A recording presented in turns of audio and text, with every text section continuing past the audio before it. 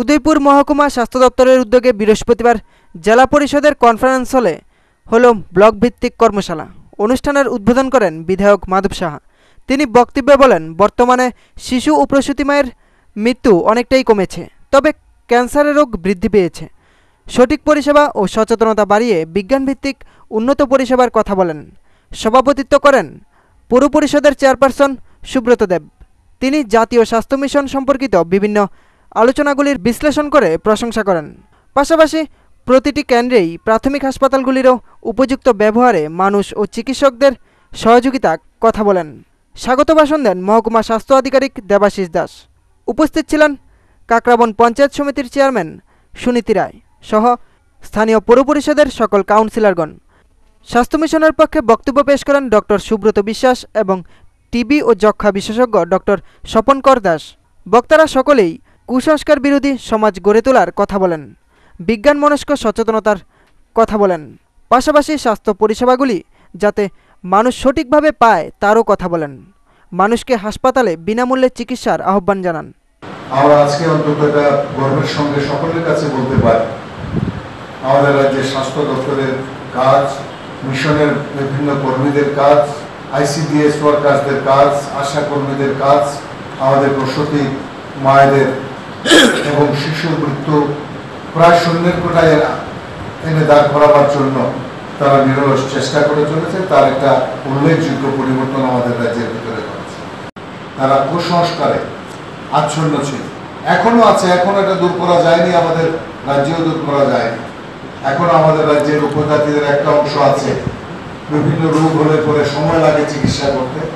চিকিৎসা যখন ভালো হয় না তখন তারা বিশ্বাস করেন গঙ্গা পূজা দিলে পরে পাঠা বলে দিলে পরে, মোরগ জবাই করলে পরে মানুষ সুস্থ হয়ে যাবে। শুধু উপজাতি অংশ কেন? আমাদের বাঙালি অংশের মধ্যে যারা উন্নত বলে আমরা নিজেদের দাবি করি, এমনকি আমাদের যারা শিক্ষিত সমাজ রয়েছে, তাদের মধ্যেও দেখবেন, একটু লক্ষ্য করলেই দেখবেন, স্কুল, কলেজে যে সমস্ত ছেলেমেয়েরা পড়াশোনা করে, অফিসে আদালতে যারা কাজ করে দশটা আমলে দশটা আংটি রয়েছে বিভিন্ন কলেজ ইউনিভার্সিটিতে ছেলে মেয়েরা পড়াশোনা করে। ভালো করে যাতে পড়াশোনা হয়, তার জন্য হাতে তাবিজ রয়েছে, কবরে তাবিজ রয়েছে। এরকম কুসংস্কার আমাদের মধ্যে রয়েছে, যদিও এটা দূর করবার জন্য আমাদের এই রাজ্যের স্বাস্থ্য দপ্তর যেমন চেষ্টা করছেন। আমাদের রাজ্যের অনেক এনজিও আছে, বিজ্ঞান এনজিও আছে। তারাও চেষ্টা করছেন এইরকম কুসংস্কার যাতে দূর করা যায়। এখন যা শুনছি, এখন যা দেখছি, যে ক্যান্সারের এরকম সংক্রামক ব্যাধি ছিল না আমাদের রাজ্যে। এখন দেখবেন এটা খুব বেড়েছে।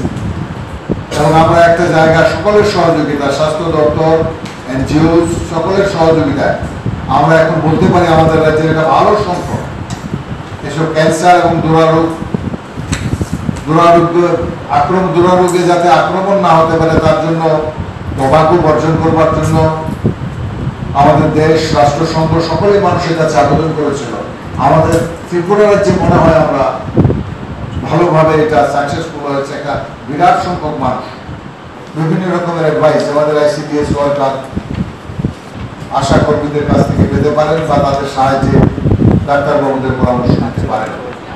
এটা যাতে নেন বিজ্ঞান ভিত্তিক সহযোগিতা বিভিন্ন রোগের জন্য, বিভিন্ন অসুবিধার জন্য যাতে তারা গ্রহণ করে, এই সম্পর্কে মানুষকে আরও মোটিভেটেড করতে হবে। সকল মানুষকে মোটিভেট করতে হবে। Bureau report fantasy TV.